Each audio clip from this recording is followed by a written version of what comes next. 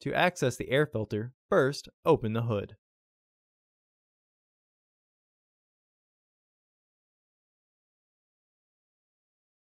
Use the hood prop rod to support the hood. The air filter is located here. There are four screws securing the housing.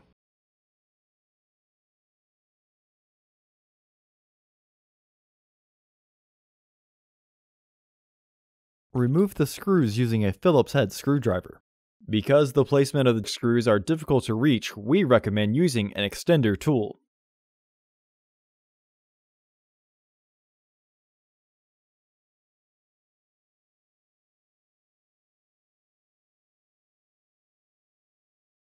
Remove the old filter from the housing and clean out any debris inside.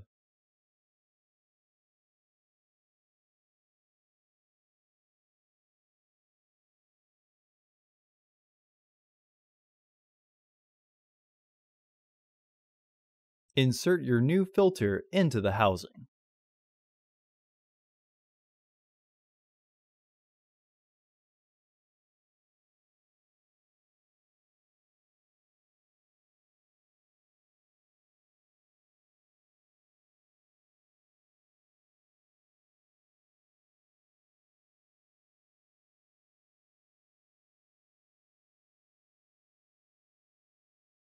Once the filter is fully flushed and the housing is aligned, reinstall the screws.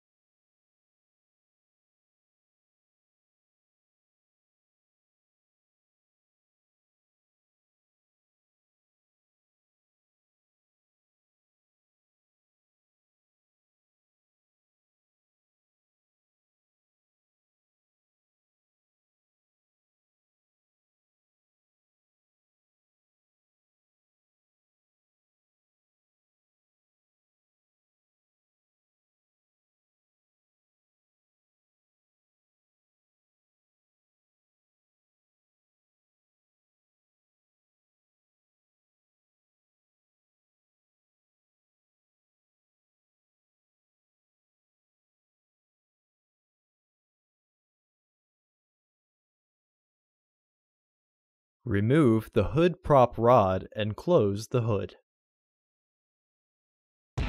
Order your parts today at filterheads.com.